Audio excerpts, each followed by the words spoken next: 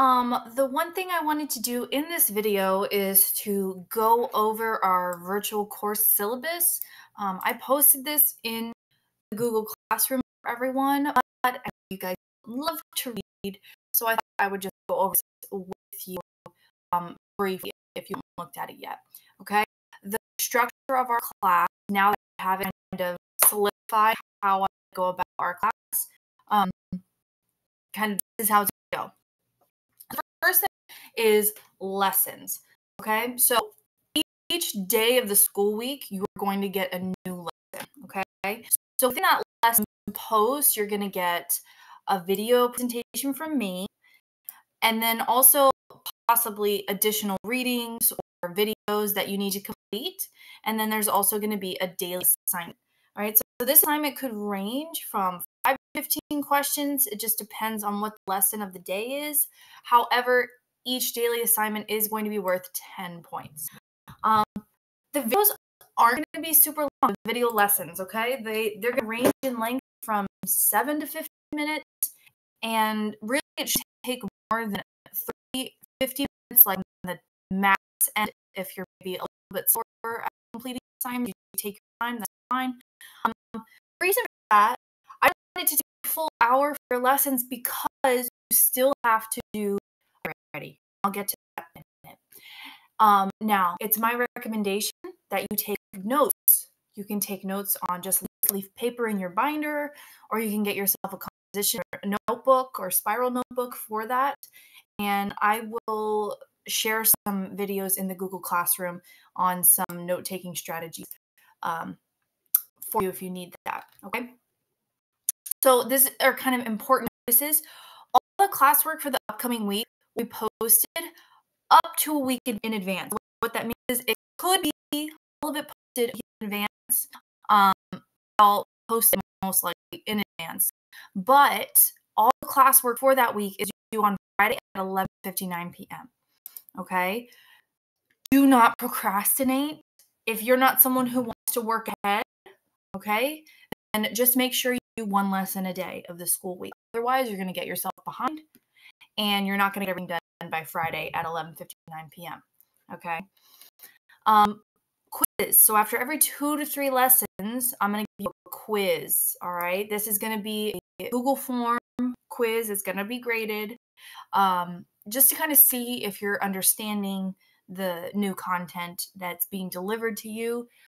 It's important notice: do not attempt the quiz until you've completed and submit the assignments that are being took on that quiz. Okay?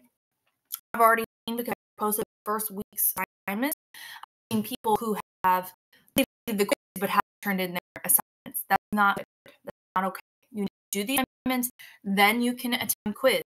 And moving forward, the first week I'm on its slide, but moving forward, you're going to get a zero on the missing assignments if you take the quiz. Don't do those. Oh, okay, because that means you just didn't turn it in. And quizzes are going to be worth 20 points. All right. So there'll be probably about one to a week. iReady. iReady is going to continue to be a part of your weekly grade. So on Friday of each week, um, I'm to check iReady, make sure you did your 45 minutes of active reading. Okay. And I'll be checking on the assignment you've completed to make sure that, that you're you know, progressing. And iReady is still worth 10 points a week attendance. I know you're thinking attendance, right? Even though we're distance learning, teachers are still required to keep attendance during this time. Um, and so, in order to do that, you guys are going to be asked a question each day of the school week. You have to, have to, have to go in Google Classroom between 8 a.m. and 6 p.m. and make sure you answer the question. Okay?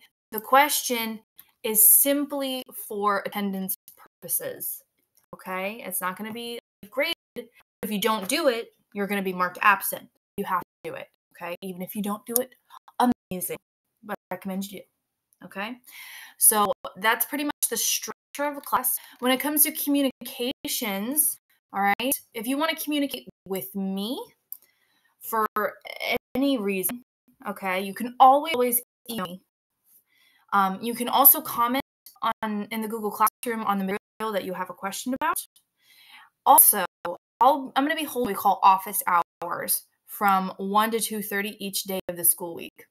So what that means is between 1 and 2.30 p.m. every single day that you're in school, I will be holding a virtual kind of classroom. And everyone has an invitation that's already on Google Classroom. If you go to the information center, and actually let me pull that up really quickly so you can see if it will let me.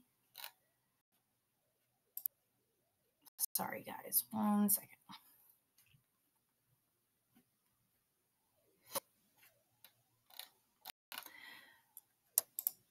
So in Google Classroom, if you go to your classwork tab, so I'll just open up one of our classes here. We'll go to open up period three. If you go to classwork and instructional videos or info, this first link office hours, okay, you would just click on that video chat between 1 and 30 and it'll bring you into meeting room. Okay. If you don't have a cam or a camera, you can also use just use a phone anyone's phone, dial this number, oops, um, dial that phone number and enter the PIN, and you can also join that way. Okay. Uh, and you can ask any questions about the lessons, the class, any questions or concerns you have about grades. Also, you you need to schedule like a one-on-one face. We can as well. You just have to email me and ask. Okay, and I'll let you know available. Which of us are pretty available, right? Because we're in quarantine. Um, communicating with each other. Okay. It is very, very important that everyone's respectful. Okay. You guys know what respect means. Right? It means a student will treat each member of our virtual class with respect. You're not going to use profanity. You're not going to post inappropriate comments. You're not going to post any comments that put classmates down or are intended to make them feel bad about themselves. That is what we call cyberbullying. Okay. We're not doing that. And if I see these comments, your ability to communicate with anyone is going to be removed. I'm not going to let you continue to communicate in the classroom. Right? So you have to show me that you're a productive member of our class and be respectful of everyone in our classroom. Okay? If you have any questions, again, email me. If you want to speak to me face to face, email me, ask me to schedule a Google Meet. Okay? I am the only one who can do that. You students, you do not have that access. You can only join a Google Meet that's been created by a teacher. You cannot create one yourself. Okay, so that's important too. And that's it for this video.